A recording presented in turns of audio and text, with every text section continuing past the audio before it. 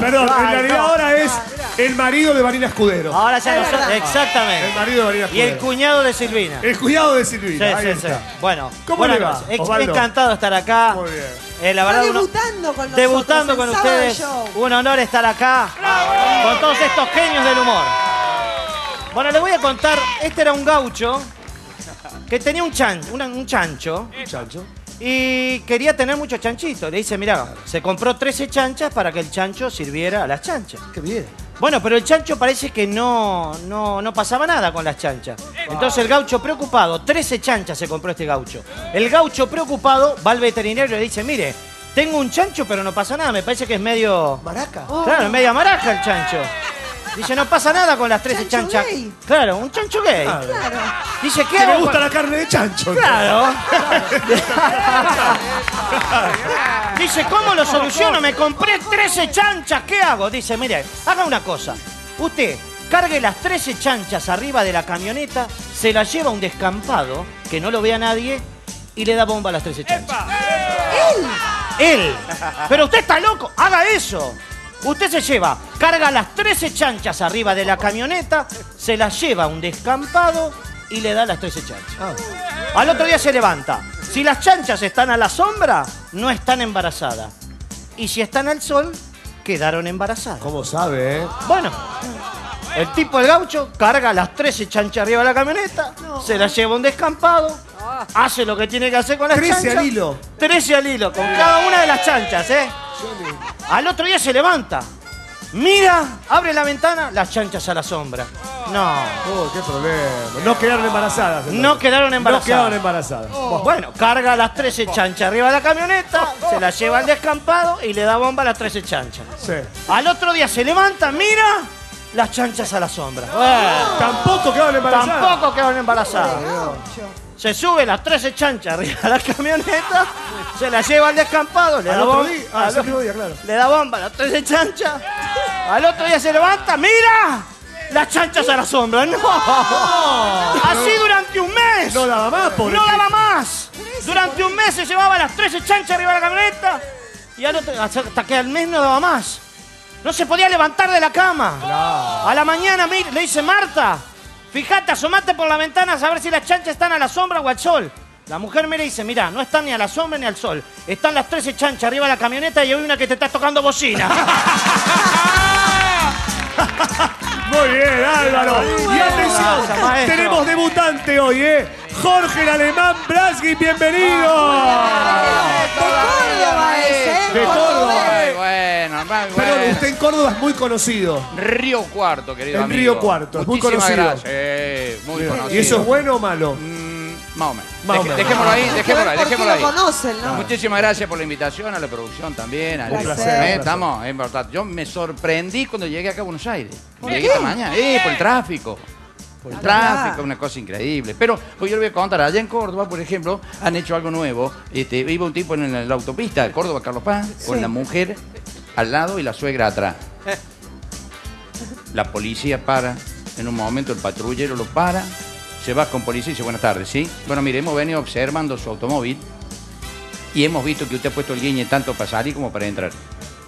Ha frenado cuando corresponde, no ha pasado por línea doble. La policía Carlos Paz le va a dar un premio por ser el mejor conductor del día de la Muy bien. Esto no pasa Eso le titula la policía de Carlos Paz, por eso acá también tenemos que tener que poner. Y el premio que yo le voy a hacer entrega a usted es de 500 pesos. Sírvase. Y le da los 500 pesos y el negro conductor agarró los 500 pesos y le dice, gracias oficial. Ahora voy a poder sacar el carnet conductor. Y la mujer, y la mujer que estaba atra- al lado le dice, ay, oficial, no le lleve la punta, encontró chupado, dice pavada. ¡No! Y la suegra que estaba atrás para rematarlo y sabieron que íbamos a tener problemas con el auto robado.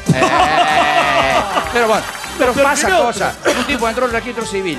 Entra al registro civil y dice, ¿cómo se llama? P. Pedro Totorre. ¿Cómo? P. Pedro Totorre. Señas particulares. Ninguna. Sí, dice usted tartamudo. No, mi papá era tartamudo. escribió. Claro, un cubano, estaba un cubano que lleva ahí en Cuba, va a una veterinaria, entró y dice, ¿cuánto vale la cacatúa?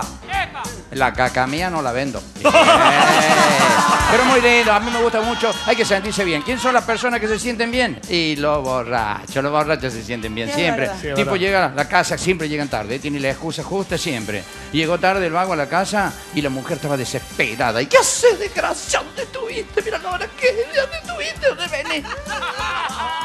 ¿Sabes? ¿Sabes lo que pasó? ¿Pero qué te pasó, desgraciado? ¿Sé que, sé, sé, sé qué me moré? ¿Sé, sé, sé qué pasó? ¿Pero qué dónde estuviste? ¿Sé por qué me, me quedé con los muchachos? Pero cállate, desgraciado mentiroso. Mira cómo está el estado que... ¿Sé, sé qué pasó? ¿Sé por qué me, me moré? Porque nos fuimos a jugar las bochas. Quiero cállate, mentiroso, todo arañado, moretoneo. Sí, porque me tocó el arco. Negro es lindo, porque el negro tiene la excusa siempre ahí. Siempre tiene la excusa flor del labio. Ese tipo que llega a la casa, llega a la casa y entró así de prepo. Tipo, "Ah, acá llegó papá. ¿Y qué? ¿Y, y, y qué? Y, y llegó papá. ¿Y sabes qué voy a hacer ahora? Y ahora me voy a comer cinco huevos fritos. ¿Y sabes qué? Con cinco cervezas. ¿Y qué? ¿Y, y, y, y qué? ¿Y, y qué? Y después me voy al baño. ¿Y sabes qué voy a hacer el baño? ¿Sabes qué hago? Voy a orinar la tabla. ¿Y qué? ¿Y? ¿Y qué? ¿Y? Y después me voy a dormir. Y me acuesto a dormir, pongo el televisor y me duermo con el televisor prendido. ¿Y qué? ¿Y? ¿Y? Qué lindo que viví solo. Ah, era lindo. Dos chupados, dos chupados. Estaban ya muy chupados en una barra, ya estaban muertos, terminados, ya muy borrachos. Y se para en el medio de los dos un tipo de saco y corbata. Y le dice, por favor, un whisky triple. Y agarró el whisky y se lo tomó. Sírvame otro, otro whisky triple. Pac. Sírvame el tercero. Tres whisky triple. Todo esto los borrachos han nadado. Admiración por el tipo. Sírvame el cuarto. Cuatro whisky triple. Cinco whisky triple. ¡Eh! Seis whisky triple se tomó el tipo. Y los borrachos estaban admirados. El tipo dejó el vaso, se fue pa- al costado y empezó a caminar por la pared. Y caminaba después por el techo con la cabeza para abajo. Agarró la otra pared, agarró la puerta y se fue. Y se miraron los dos chupados y le dice, ¿viste lo que hizo? ¿Viste lo que hizo? Se fue sin pagar. ¡Ay! Muy bueno, grande el alemán. Y ahora llegó el turno del señor Toti Siliberto, bienvenido. ¿Qué tal? ¿Cómo están? ¿Bien? Bueno, Buenas espere, noches. Toti, espere porque usted tiene Tengo auspicio. Está auspiciado, Toti, ¿eh? Les quiero contar que hace 100 años que Mini Cuotas Ribeiro viene pensando primero en vos. Por eso es la única cadena de artículos para el hogar que te brinda un crédito personal, cómodo y a la medida de tus posibilidades. Hoy te ofrece esta oferta. Escucha, procesadora Philips a 499 pesos o en 12 mil y cuota fija de 49,90. Además, consulta por esta oferta o lo que estés necesitando en cualquiera de sus 58 sucursales en www.ribeiro.com.ar o llama al 0810-345-6464. Mini Cuotas Ribeiro, cumpliendo 100 años, 100 años cumpliendo.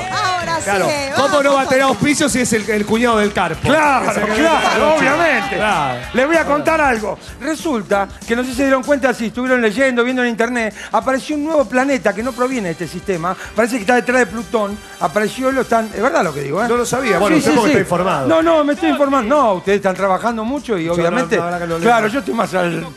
Salen poco a poco. Entonces resulta que la NASA eh, emprende tomar un viaje para ver qué sucede, cómo es este planeta. Y toma una serie de pruebas a las cuales llegan tres personas. Las últimas tres personas son un alemán, un francés y un argentino, obviamente un porteño. Era un porteño. Pasa el alemán, entonces dice, mire, una de las últimas preguntas, señor, ¿cuánto quiere ganar usted por hacer este viaje? Dice, quiero ganar 100 millones de dólares. Dice, ¿para qué quiere 100 millones de dólares? Dice, por si me pasa algo para donar a mi patria. Muy bien, bien, alemán. Pasa el francés. Señor, ¿usted cuánto quiere ganar? Bueno, yo quiero ganar 200 millones de dólares. ¿Para qué quiere 200 millones de dólares? Uno para donar a mi patria y otro para mi familia. Si me pasa algo. Muy bien, muy bien. Entra el porteño. Hola vieja, ¿qué onda? ¿Cómo anda todo? De prima. ¿Qué hace bebé? Tiren, tiren, vamos que estoy apurado, vamos, tiren. Fernando Fernández. Claro, Fernando Fernández. ¿Cuánto quiere ganar usted por hacer este viaje? Yo, 300 millones de dólares. Uh. 300 millones de dólares. ¿Para qué quiere 300 millones de dólares? 100 para vos, 100 para mí y 100 para que viaje el alemán. Muy bien.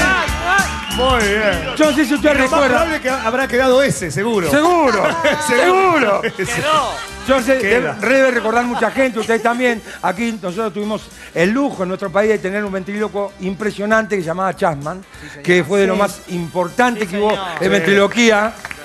A mí Un me gran gustaba aplauso. mucho más Chirolita. Claro, su muñeco, su marioneta era Chirolita. Estando de gira en, en Europa, en España, estaban en Madrid. Bueno, y Chirolita dice, bueno, voy a contar un cuento de gallego. Se levantó un tipo y dice, ¿cómo? ¿Qué es que vienes de Argentina aquí a basurearnos? ¿Qué quieres venir a insultarnos? ¿Qué vienes a este lugar a contar un cuento de gallego? ¿Pero quién te cree que eres? Llama que era una persona sumamente educada, muy educada, muy cortés, un caballero. Se levanta rápidamente, lo deja al muñeco y dice, mire, señor, le pido por... No, no, no, no estoy hablando con usted, estoy hablando con la criatura. ¡Qué grande, Toti! Y llegó el momento del señor Beto César. Bienvenido, Beto. Vamos, Beto. Antes que- Pañuelito, ¿eh? gracias. Antes, antes de, de continuar, www.betocesar.com. Te faltó una W. Son www. Como dos solas. No, la mía son dos. Dos www. No, porque siempre me dicen dónde te puedo contratar. Entonces, como nunca alcanzo a decirlo, digo Dígalo. www.betocesar.com. Muy ¿Ok? bien. Lo dije bien Es ahora. excelente. Perfecto. ¡Ay, querida gente, qué felicidad! Le estaba rezando al Chato Oh. Prado, al Gauchito No, eso Jope, a Manuel Equeco Sí, ¿qué más? y Paro el Santoral. Ah, para esa Sí, sí, el bailando. A sí. la de Hidra. la- No, porque ya tengo, ¿sabe qué? Es mucho, apuran. No se puede creer. ¿Cuándo sonó el teléfono en mi casa? Mirá, Gracias. como producción. Gracias, qué producción. ¿Quién atendió? Su mujer. Mi mujer, siempre atiende mi mujer. Una nueva de mi mujer me mandó al tigre a ver la casa del. Soñando por bailar. Soña, eso, soñando nuevo por bailar. reality que arranca. Pero me, pero- Divina es. Sí, pero me hizo, me hizo ir en bote. No. Me dice, sí, porque si quieres ser jurado, vas a tener que remar mucho en el 2011. No me importa, siempre con una palabra de aliento. No me importa, voy a remar lo que quiera. Ya hablé con Marcelo. No, no, no, con Marcelo Araujo. Para que me anuncie lo que viene, eh, lo que viene. eh. Beto César. No, revienta el Facebook Beto César 2011. Más de dos mil y pico de personas. Tenemos, después le voy a decir el pico cuál es. que quieren que sea. Bueno, voy a lo mío, voy a lo mío. ¿Qué? Tranquila, empezó la semana en el bailando. La semana sí. Todo era paz y amor. Es verdad. Inclusive se abrazó Graciela Alfano con, Vanina. con Vanina. Acá pierdo la amistad con, con Álvaro. Se abrazaron. Parecía, con Vanina Escudero, parecía el abrazo de Yatasto. Sí, sí. En vez de caballo había dos yeguas, pero no importa. ¡No! Pero está el marido Pero acá. no, la digo, no, por favor, por favor, por favor. Que, como es que viene Luis Sandrini, Marcel Alfano. Luis Sandrini y vos venís. Alfano y Beto César. por No, favor, no, bueno. Sigo, continúo. Tranquila, venía la semana. Todo era paz y amor. Era love and peace. Hasta que alguien roció, roció con, con locol ideas del sur desmesuradamente. Y ahí sí. ¡Qué bolonqui esta semana! Y el que encendió la- la- la llama fue Marcelo Polino. Polino, Sí, sí. Marcelo Polino fue el primero. Bueno, Polino tiene que armar quilombo, porque si no en el programa, ¿qué pone Polino? Bueno, ¿qué pone Marcelo Polino en el programa y en el resto de la televisión argentina? y esto que te digo es verdad, poner la firma. Esa. Carmen Barbieri vuelve al bailando, sí. No, sí, ¿por ¿En qué no? serio? No, vuelve al bailando. Sí, quiere pelearse con alguien que no sea el marido.